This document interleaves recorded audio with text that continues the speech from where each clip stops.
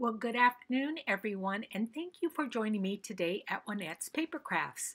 In today's video tutorial, I'm going to be showing you how to make this cute little kit in which you have an area to hold your needles, and it's on a magnetic sheet. You've got an envelope to hold some embellishments or applique. There's a little felt piece to hold your sewing needle and a little notebook so what we're going to do to start out with is coffee staining some designer series paper. You will take four to six cups of hot water, two to three tablespoons or four tablespoons of instant coffee, dissolve it, put it in a big glass pan, dip your designer series paper in it, put it in an oven at 325 for five to six minutes and you have your coffee stained paper. So this is the paper afterwards and I love the feel of it. And do you see it just kind of tones back the color a little bit. Takes away a little bit of that whiteness.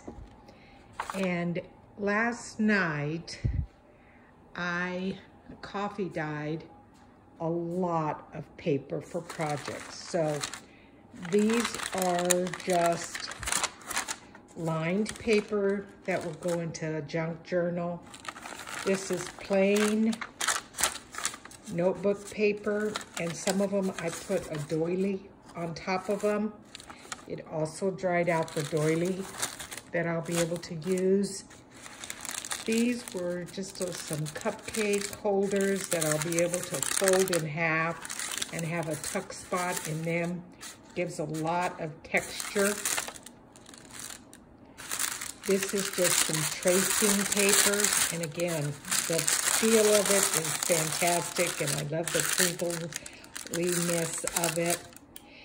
These were like a real thick glassine envelope and I'm going to put them in journals for pockets, just some book page, and some hymns for Christmas. So what I do to get rid of the coffee smell from my paper is I take one of these little things that you would get at a car wash and I just set it in the middle of all my papers and have them in a bag. And then I rotate it and after a few days, the coffee smell will go away and the smell of whatever uh, thing that you've got from a car wash will be the smell. So let me show you what we're making today. Lately, I have been on quite a kick for vintage looking things. And I do a lot of sewing. Besides my paper crafting, and so I needed something to hold my needles in. So my original one was only two and a quarter by four and a half, and so I redesigned it to make it larger. Now this one is three and a half by six, and you can see here I'm doing a little bit of slow stitching. You can look at other YouTube videos on what slow stitching is, but this piece will go into a junk journal or some kind of crafting journal. But like I said, this little kit is three and a half by six inches. It is using coffee dyed designer series paper and this little area on the right hand side has a magnetic sheet that holds my needles and then it tucks right into that little pocket there. There is a little felt piece there that I could put my needle into. There's a little notebook for jotting down notes. There is a glassine envelope to hold any kind of little bits and bobs that I'm working on, whether it be appliquing or uh, adding slow stitching to a piece of quilting batting. There's a little envelope there There's also a little tuck pocket in the front there. Now, in the front, I also have a magnetic pair of scissors. I think it's so cute that you could put your needle on as you're uh, adjusting your hoop if you're cross stitching. And it closes up with Velcro dots. And it fits into my sewing bag quite nicely. So it's a nice little travel kit. So this is what you will need. One piece of 12 inches by 6 inches coffee dyed designer series paper. And what we're going to do is score it at two and a half and at six and then I'm going to rotate it and score it again at two and a half. So two and a half, six, rotate it around and score again at two and a half. Then you're going to fold and burnish those score lines.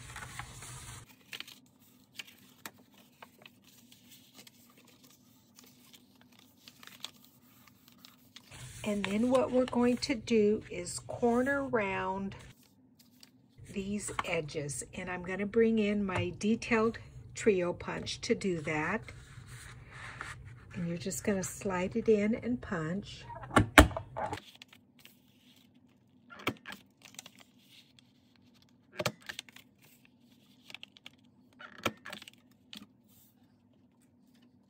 and then I'm going to bring in my one and a half inch circle punch and I'm going to punch some thumb notches on both of these sides here. So I'm going to just eyeball it and line it up about center and punch out a thumb notch and then on the other side too.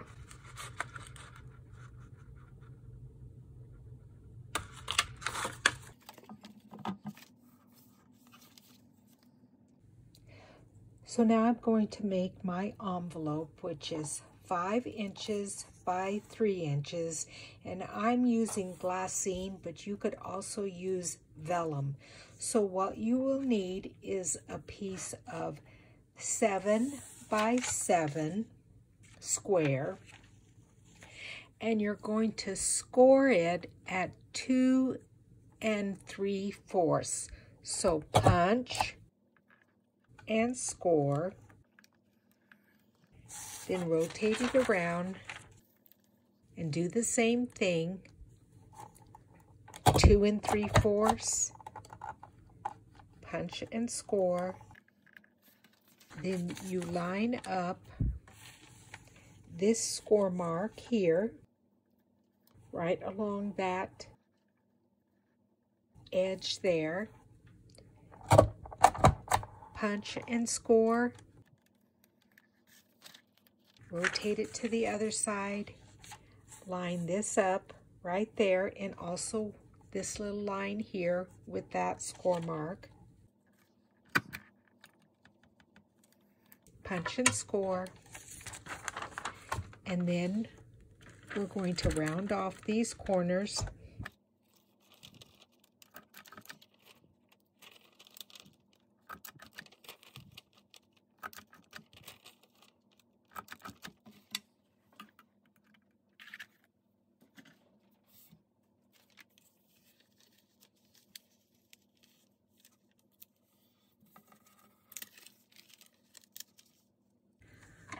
So what I have done is folded and burnished all of my score lines. I've added double-sided tape here and here, and then here and here. Now, here is where this will go, but I didn't want this to flap up, so I've also added it there. So what I'm going to do is release the other side of it and fold up the envelope to close it.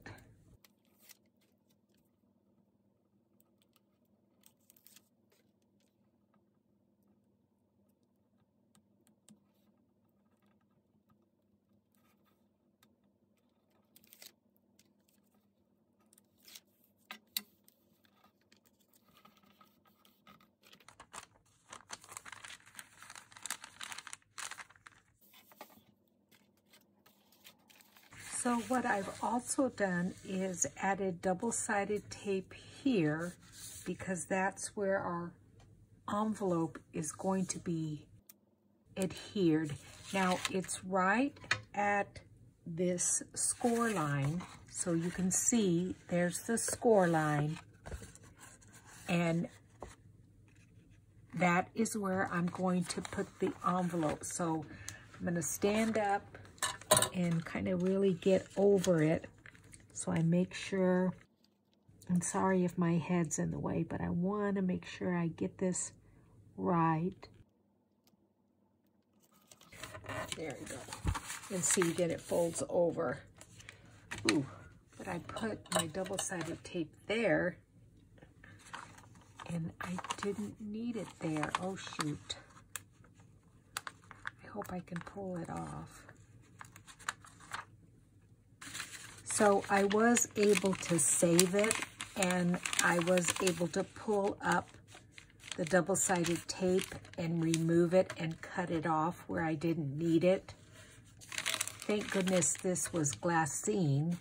Had it been paper, it would have ripped, but because glassine is slick, I was able to peel it up and pull it off. So I'm going to remove each of these sides and then lay that little pocket down.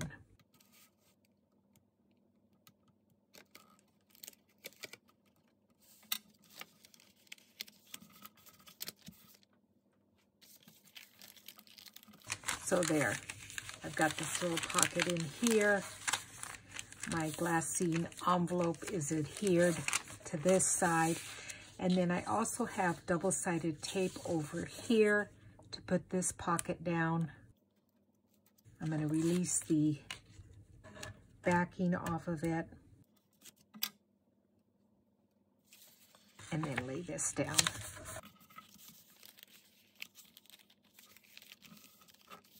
And so there is our little kit holder, needle holder. So now we're going to be decorating it. So I bought these little charms, I believe at Joann's. And I've got a couple. One is a pair of scissors and here is a ruler. And then I've got these tiny, tiny little magnets that I believe I got off of Amazon. So I'm going to glue the magnet using this E6000. I guess this is a very, very good and strong glue.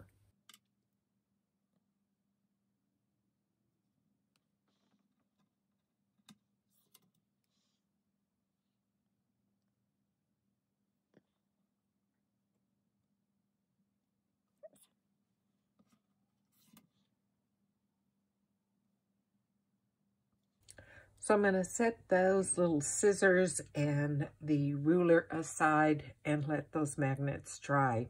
Now I'm going to show you a little tip that I got from another YouTuber. These little rubber toppers are what you would find in the knitting section of, like, I picked these up at Joann's and they're just little silicone rubber toppers for knitting needles. But another YouTuber told me about them to put on top of your glue to keep it from drying out. And I must tell you, it is working fantastic. I know you guys have probably seen me struggle with this little thing. It's it's beautiful, but it's it's heavy. Uh, my glue falls out. I'm constantly trying to figure out where the hole is to put it back in. So I just wanted to let you guys know about these. They work fantastic. So that's that. You can pick them up at Joann's. And I recommend the small ones. I think these large ones are a little bit too large unless you have really big glue bottles that you're using. Okay, I'm going to set those aside. and I'm going to bring in our paper trimmer. And we have a piece of three and a half by three and a half coffee dyed DSP for a tuck spot and a three by three piece. And so what you're going to do is cut them on the angle to create a triangle. And the best way to do that is line up your points right in your track. Then lay down your blade in the middle, not on one of the edges. Because if you start at one of these edges, it, it will tear the, the paper. So there's one triangle. And we'll do this one.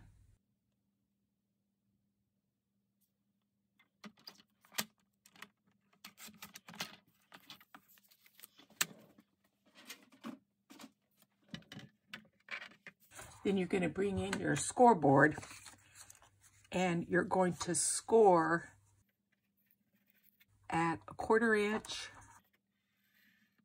on one side and then a quarter inch on the other side also. Sorry, my hand gets in the way. On both of those pieces.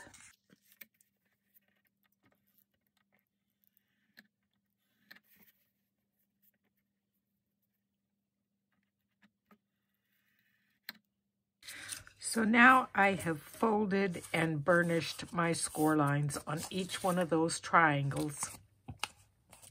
And I'm going to bring in my paper snips here. I think you can see a little bit better here. So right where those corners intersect, I am going to snip off a little edge there. And then they will fold in a little bit easier. Then I'm going to turn it over and snip off these pieces here. I'm going to do the same thing on the other side, on the other piece, excuse me.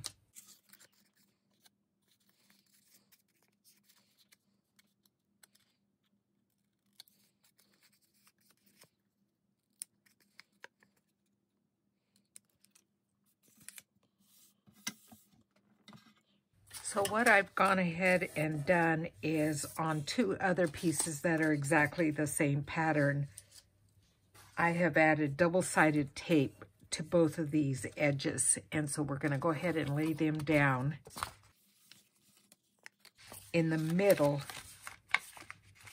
of our little kit here.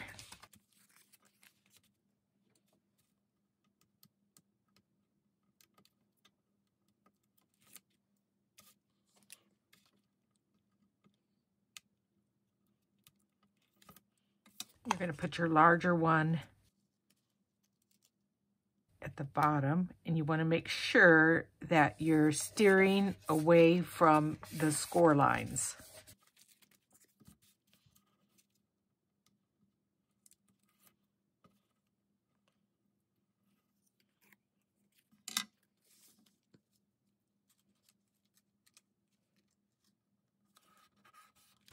And the, this is a nice little tuck pocket. You can put some embroidery thread in there. And now for this top one here, I have a piece of two by two felt, or you can use uh, quilting batting. And I'm just going to lay that in there. You could also put something else in there as a little tuck.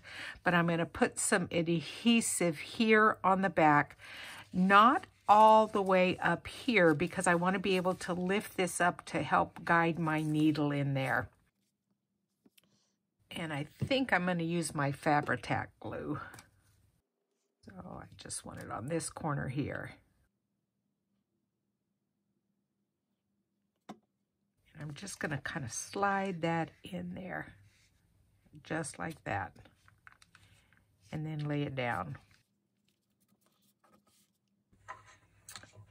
So the magnet on my scissors has dried. And so I want to attach my other magnet to the back side. So this is where my scissors, my front scissors, are going to lay at about there. So I'm going to hold that there and then turn it over. And if you just drop your magnet, it will land where it needs to. Um, I think that's a little bit high, so I'm going to move it over. I want it at about, I think about there. So that's where I need to glue my magnet. So what I'm going to do is just take a little pencil and draw where I need to add my glue. And take that off. And I'm going to bring in that E6000 again. I think it's a really strong glue. And add a drop right there. Now we're going to be covering this magnet up. So I think that's good. And then again, I'm going to just drop my magnet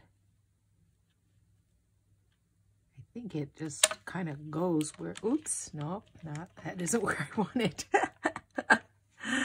oh, shoot. Let's see. I think what I'm going to do is, let's see, it needs to go laid down like this. So I'm going to just lay that one first, right where I need it to go. Where I had decided. There we go and then bring this one back here and there. Yeah, that's good. That's where it needs to land. So I'm going to cover that up.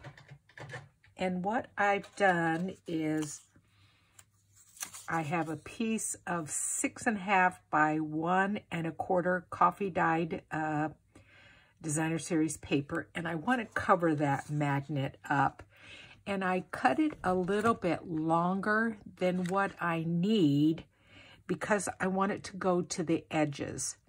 So I can just trim that off to hide that. And I think I'm going to bring in my Beacons 3-in-1 glue. Is that the side I want? Yeah. And so I'm just going to add it to the back. You see how it lets that little rubber thing, that little topper, just makes it so much easier for covering up your glue. I'm going to put quite a bit here. I'm heavy-handed when it comes to the glue. I love this little thing. That's fantastic. And so I'm just going to lay it here and all it really needs to do is cover that magnet. So I'm just going to line it up there, press it down. Then if I turn it over, there we go. And then I can just trim that off there. Oh, perfect. It looks good.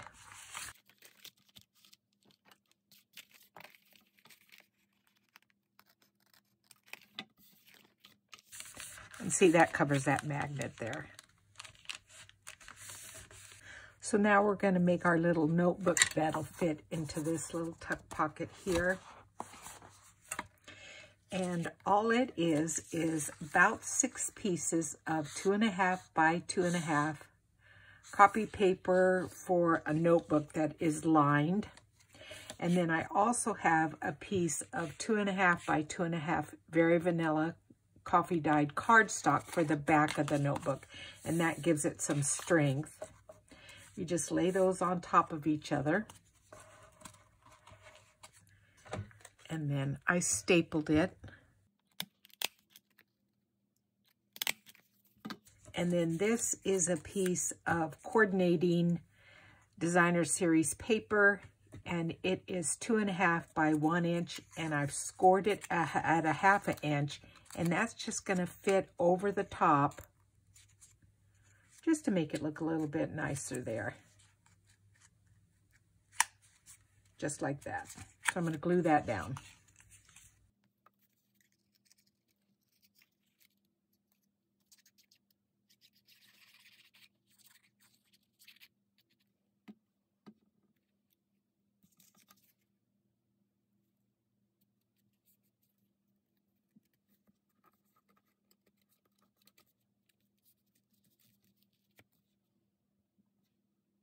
So now I want to decorate this area right here. And what I've done is I have stamped this Love What You Do.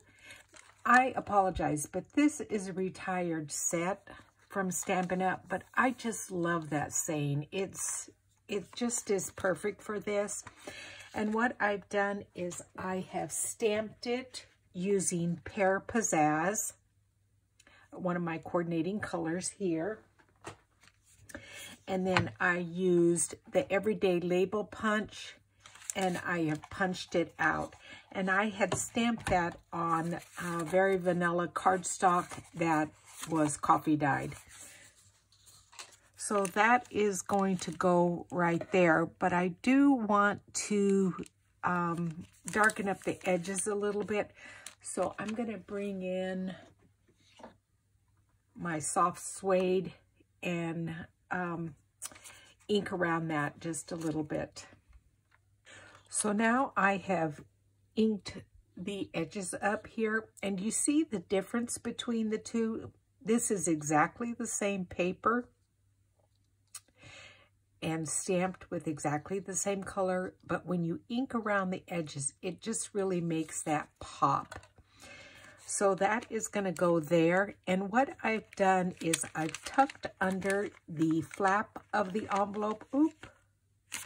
I'm going to have to cover that up because I don't want that to show through.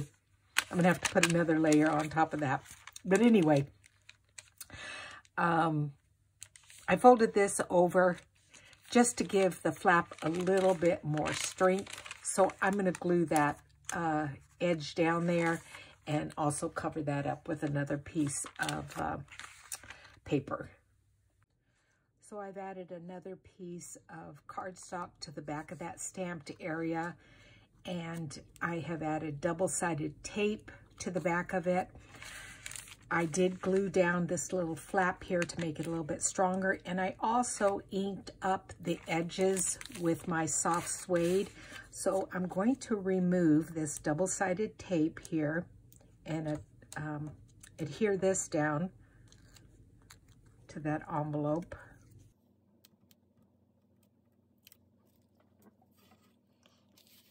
And I'm just going to center it right here.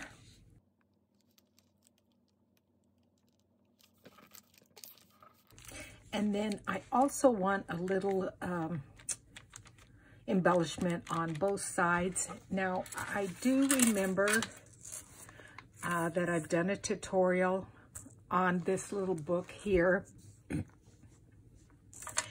And it is a holder for all of my die cut pieces that from Paper Pumpkin Kits or extra die cuts that I have cut out and didn't use.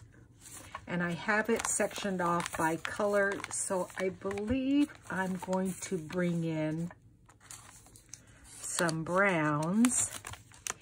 And these were little extra embellishments from our last paper pumpkin kit.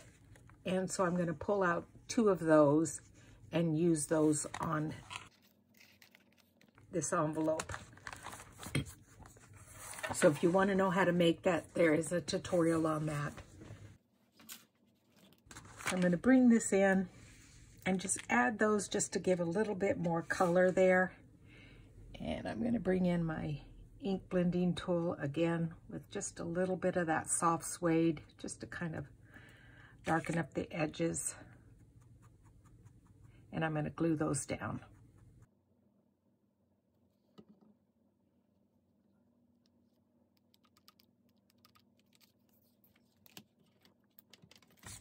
And then our piece of magnetic sheet is five inches by two and three fourths.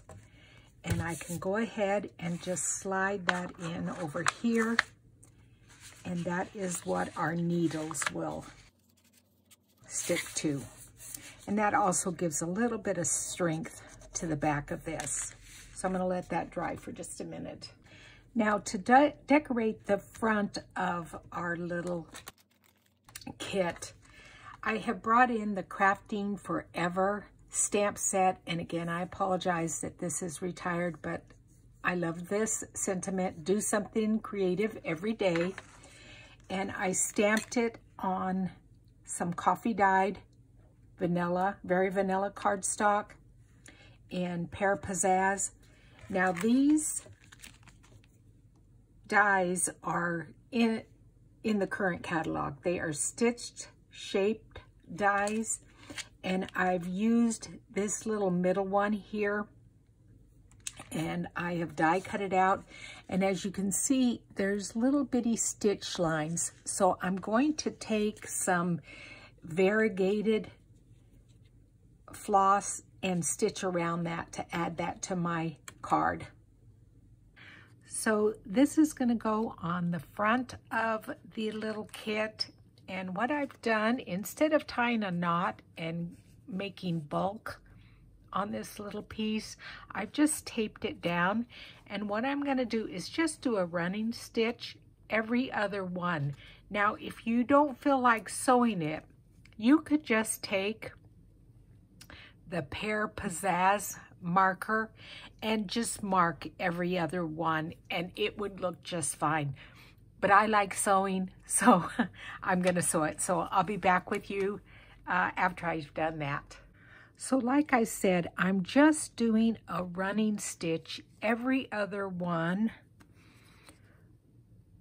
So you just go in the back, up, and then down the next one.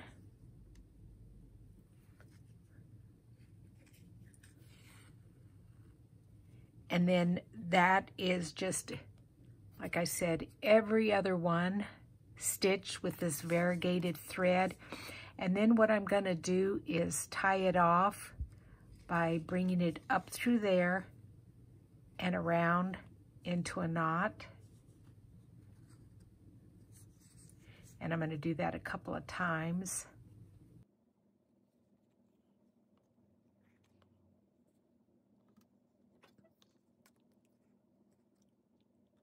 And then just trim that off. Take my needle, open up my little kit here, put my needle in there for safekeeping. And then I'm going to glue this on to the front of it here.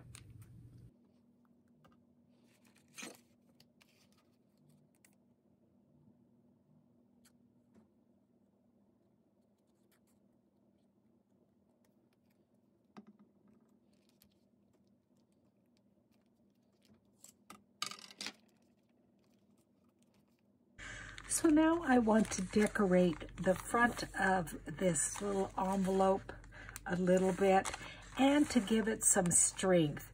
Now what I have is two different, uh, and again, unfortunately retired Stampin' Up washi tape, but you can use any kind of washi tape that you might have that would coordinate with it. Then I also have a glue stick, which is good if you have a little bit of a problem with your washi stick. your washi tape sticking.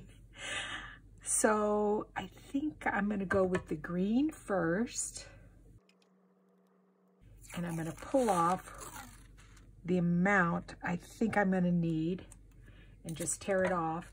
And then what you do is you just lay it on top of your glue stick and as you pull it through, you hold your index finger down and it will get glue all over the back of that washi tape. And then I'm just going to bring it up.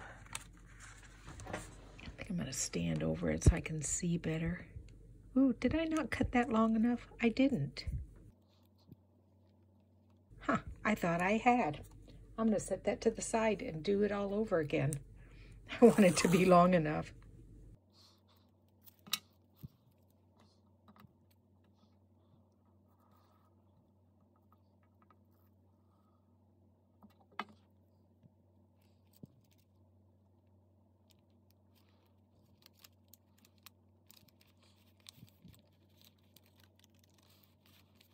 And then I'm also going to take this one too.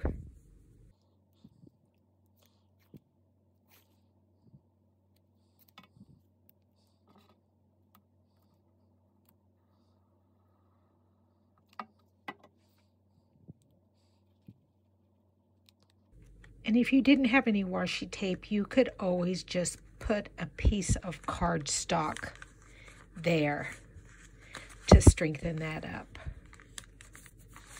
Just going to turn it around and bring my fingers in here. Push it down. And then I'm going to trim off the excess here.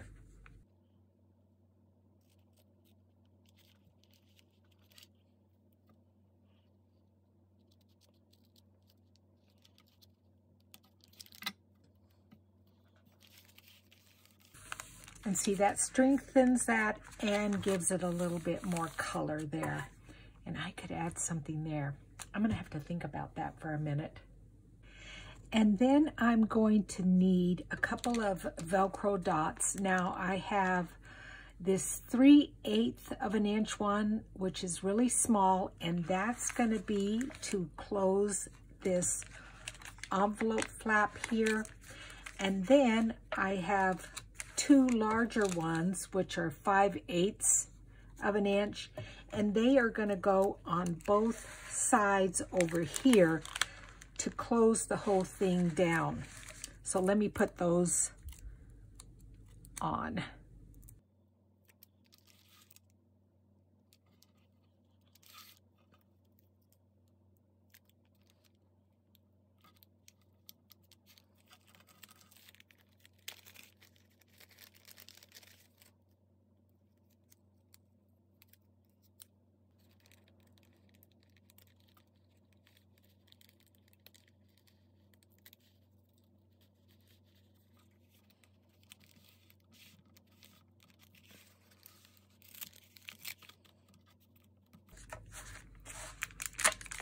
Have my small one here to keep the envelope closed, and then I have my two larger ones here to keep the whole thing shut.